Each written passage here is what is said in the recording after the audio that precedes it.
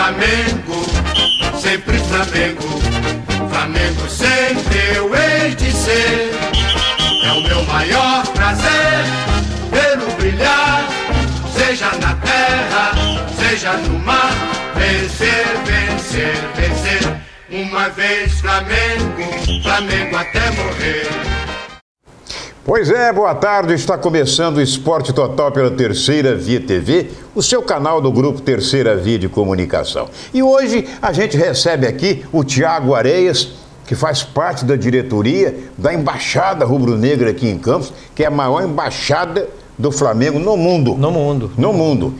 Tiago, como é que foi como é, que, como é que foi a animação do pessoal, a vibração ontem lá na embaixada? Eu soube que bateu todos os recordes de público. Pois é, fizemos uma festa maravilhosa. Primeiramente, boa tarde a todos, saudações rubro-negras. Quase que boa noite ainda, que eu estou desde ontem. Mas fizemos uma festa maravilhosa na embaixada, casa lotadíssima, média de 3 mil pessoas só, né? Pouca gente. E fila para entrar? Fila para entrar, teve fila com mais de 200 pessoas após fechamento do portão. Foi muito legal, festa bonita. O Flamengo, como sempre, né? Presenteando a gente com essa bela noite. Você falou 3 mil pessoas?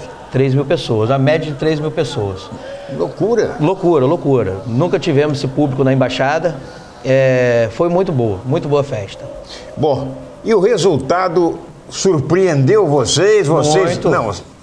Vocês, Muito. Eu, eu, por exemplo, quando eu comecei a ver o jogo, eu estava, estava em uma solenidade de formatura lá na Faculdade de Medicina, da Faculdade de Medicina, e corri para casa para ver o jogo, né? E cheguei em casa, eu já estava aí com uns 10 ou 12 minutos de jogo.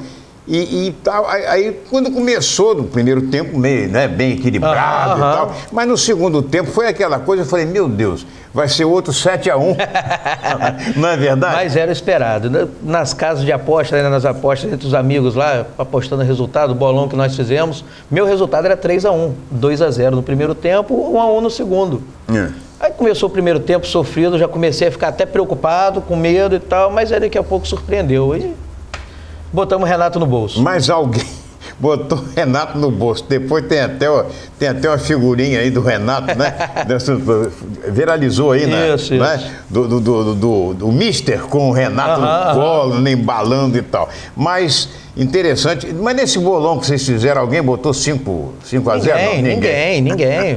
O, o resultado que mais dito foi 2 a 0 2 2 a a 0 0 Flamengo. Eu ainda fui além, joguei o 3 a 1 mas surpreendeu todo mundo. Pois é. Todas as casas de aposta. Agora me diz, me diz uma coisa assim, a, a embaixada, por exemplo, que é lá aberta aos torcedores, a- o pessoal, a gente estava conversando sobre a importância, a importância da quando foi inaugurada a embaixada do Flamengo aqui há alguns anos, esteve aqui o vice-presidente do, do- do- Flamengo, responsável pelas embaixadas, o Maurício. Maurício Gomes de Matos. Maurício, nosso mestre. Maurício Gomes de Matos. Né? E quando vocês viajam, por exemplo, para- ver jogo no Maracanã, etc., eu soube que passam, inclusive, passam pela Gávea para vocês, é, faz, churrasco. Nós temos um tradicional churrasco, né? Para na Gávea, faz um churrasco lá durante a tarde e depois a gente se encaminha para o Maracanã para A delega, no caso, ah, vocês, os torcedores daqui, já são reconhecidos e recebidos Somos, lá. somos muito bem recebidos, graças a Deus.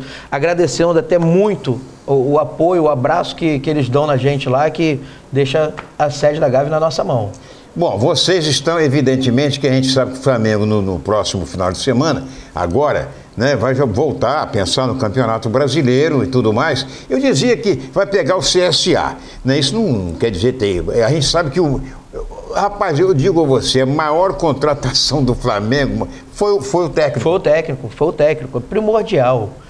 Tanto que eu- a gente conversando aqui nos bastidores, a gente estava falando, né?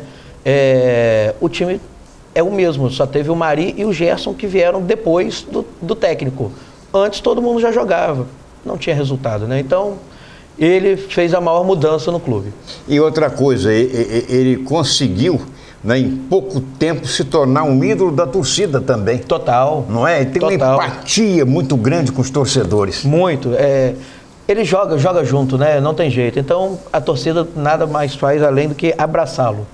Isso é, é muito importante. Quando, quando termina o jogo, ele reúne os jogadores, vamos Vai lá, agradecer. vamos agradecer. É, entendeu? Não, engraçado, porque o, e o detalhe, o que mais encanta, eu tenho, conheço torcedores do Fluminense, muitos amigos, torcedores do Vasco, do Botafogo, de outros times, mas que são unanimidade, essa é verdade, em dizer o seguinte: eu estou gostando de assistir o jogo do Flamengo porque é o futebol bonito. Voltamos a jogar bonito, né? Volta, Exatamente. É o futebol bonito, pelo amor de Deus. Nem você ser. E outra coisa, se o time está fazendo 1 a 0 2 a 0 não tem aquela coisa de recuar para segurar, para segurar o- a coisa. Ele está exigindo mais dos jogadores. Exatamente. Você é vê- pressão o tempo inteiro, do é? início ao fim. Você vê ali, Intensidade demais. ali na margem do campo ali, ele pedindo mais. Exato, é? cobrando muito. Cobrando. Entendeu? E com autoridade, isso é muito importante. Não, Tá- muito, Tá muito. compreendendo? E amigo, é, o cara companheirão ali dos jogadores, a gente tá vendo, mas acima de tudo, é, vamos dizer assim, um comandante. Total. E você é, é engraçado, né? Porque a diferença de idade dele para os outros jogadores é muito grande, né? Sim. Então, tipo, você fica naquela. ah, o cara não tem pensamento jovial, não tem nada. Não, pelo contrário. Joga juntinho com todo mundo, cobra de todo mundo.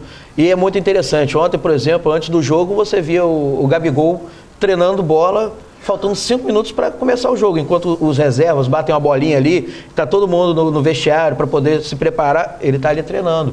Você acha que isso quem que faz? É o treinador. Não tenha dúvida. Exatamente. Falta, ó, faltando 30 dias exatos, daqui a um mês, Um mês. vai ser a final programada para Santiago do Chile, Isso. que está, aliás, o país está envolto lá numa série de, de problemas. Se continuar esse clima, evidentemente que vai ter transferido de local. Só não pode ir para Argentina. Não, lá não. De, de jeito nenhum, entendeu? Então eu pergunto a você: há sim alguma possibilidade de um grupo de vocês da embaixada ir assistir essa final? Há possibilidade não. Tem uma galera que já fechou para poder ir. Que isso, cara? Tenho amigos que fechou o ingresso antes mesmo do Flamengo passar da primeira fase, porque comprou mais barato, fechou a, hospedagem, passagem, essas coisas todas. E uma galera que veio depois. Qu- Quando passou pelo Inter, uma galera comprou. Fez um pacote. Isso. Tinha um, é, um grupo de amigos nossos, a gente estava até vendo de fretar um avião para poder ir. Mas aí ficou muito caro. Conseguiu dividir em relação lá no, no, numa agência de viagem dessa aí e ajeitou bem para todo mundo. Que maravilha, rapaz. Quer dizer que vamos estar representados. Vamos. Né? Os torcedores aqui de Campos, evidentemente, que eu quero dizer, representados pela essa galera da embaixada, não é verdade? É, mas o esporte total foi lembrado por um torcedor assíduo do Flamengo, o Fábio Magalhães. Ele fez um vídeo especialmente pra gente, né, do Gabigol convertendo o pênalti. Vamos ver.